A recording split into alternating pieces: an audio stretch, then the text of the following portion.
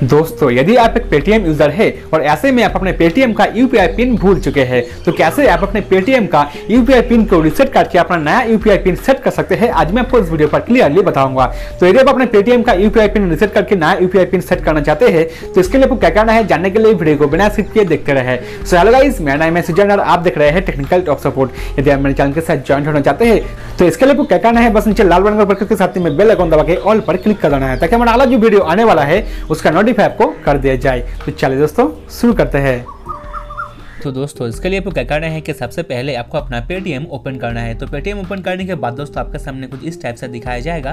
तो अभी आपको यहाँ पे क्या करना है, यहाँ पे जो लोगो दिए गए हैं, आप देख सकते हैं तो आपको बस सिंपली से इस लोगो के ऊपर क्लिक करना है। क्लिक करने के बाद दोस्तों, आपके सामने कुछ इस टाइप से इंटरफेस दिखाया जाएगा। तो अभी आप यहाँ पे देख सकते हैं योर अकाउंट्स एंड बैलेंस तो आपके पेटीएम में जितने भी अकाउंट है, वो आपको यहाँ पे दिखाया जाएगा। तो आप जिस बैंक अकाउंट के UPI पिन को सेट करना चाहते हैं मतलब चेंज करना चाहते हैं, उस बैंक के ऊपर सिंपली से आपको प्रेस करना है।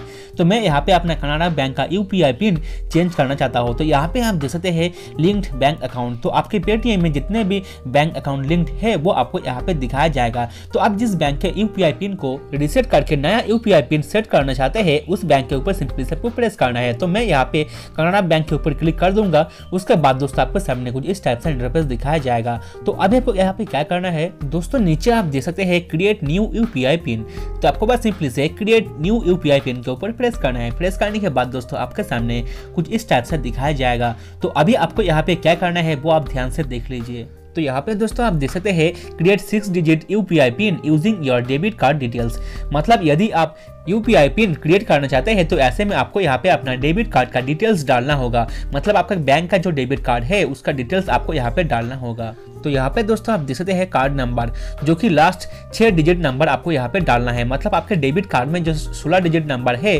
उसका लास्ट में जो छह नंबर है, उसे आपको यहाँ पे डालना है। उसके बाद नीचे आप देख सकते हैं एक्सपायरी वैलिड डेट जो जो कि मंथली और ईयर मतलब आपके डेबिट कार्ड का जो एक्सपायरी डेट है, वो किस महीने में और किस साल में है, वो आपको यहाँ पे डालना है। वो आपके डेबिट कार्ड के ऊपर लिखा हुआ दिख जाएगा। उसके बाद क्या करना है, वो आप देख लीजिए। जैसे कि आप यहाँ पे देख सकते हैं, मैंने यहाँ पे अपना डेबिट कार्ड का डिटेल्स यहाँ पे डाल दिया है तो आप सही से डाल दीजिएगा। उसके बाद क्या करना है, नीचे आप देख सकते हैं प्रोसेड तो आपको बस सिंपली से प्रोसेड के ऊपर क्लिक करना है। क्लिक करने के बाद दोस्तों, आपके मोबाइल नंबर पे एक ओटीपी आएगा, जो ओटीपी आपके बैंक की तरफ़ से भेजा जाएगा। जैसे कि आप यहाँ पे देख सकते हैं इंटर ओटीपी तो आपको यहाँ पे उस ओटीपी को डालना है।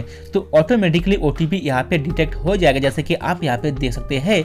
उसके बाद क्या करना है और यदि आपका वो ओटीपी ऑटोमेटिक डिटेक्ट नहीं हो रहा है तो ऐसे में उस ओटीपी को आपको यहाँ पर डाल देना है। जैसे कि आप यहाँ पे देख सकते हैं मुझे यहाँ पे ओटीपी मिल चुका है तो ओटीपी को मैं यहाँ पे डाल दूँगा तो ओटीपी डालने के बाद दोस्तों आपको यहाँ पे ग्रीन टिक देखने को मिलेगा जैसे कि आप यहाँ पे देख सकते हैं मतलब मेरा ओटीपी सही है तो अभी आप यहाँ पे देख सकते हैं सेट यूपीआई पिन तो अभी आपको यहाँ पे अपना यूपीआई पिन सेट करना है और ओ के अलावा आप यहाँ पे अपना यूपीआई पिन सेट नहीं कर सकते हैं तो ओटीपी डालने के बाद दोस्तों आपको यहाँ पे अपना यूपीआई पिन सेट करना है जो यूपीआई पिन आप अपने पेटीएम में सेट करना चाहते हैं तो आप अपने हिसाब से यहाँ पे यूपीआई पिन सेट कर दीजिएगा उसके बाद फिर से आपको कंफर्म करना है यूपीआई पिन को। उसके बाद क्या करना है? यहाँ पे सिंपली से राइट के ऊपर क्लिक करना है। क्लिक करने के बाद दोस्तों आपका जो यूपीआई पिन है, वो आपके पेटीएम में सेट हो जाएगा। जैसे कि आप यहाँ पे दे सकते हैं तो यहाँ पे दोस्तों आप देख सकते हैं, ये लोडिंग हो रहा है। तो लोडिंग होने के बाद दोस्तों आपका जो नया यूपीआई पिन है, वो आपके पेटीएम में सेट हो जाएगा। जैसे कि आप यहाँ पे देख सकते हैं, मुझे यहाँ पे कनाडा बैंक की तरफ़ से एक मैसेज किया है तो मैं इस मैसेज को ओपन करके आपको दिखाता हूँ। जैसे कि आप यहाँ पे देख सकते हैं दोस्तों, यहाँ पे लिखा हुआ है कि dear customer your U pin set is successful मतलब मैंने जो यूपीआई पिन को सेट किया है, वो सक्सेसफुल हो चुका है, जैसे कि आप यहाँ पे देख सकते हैं।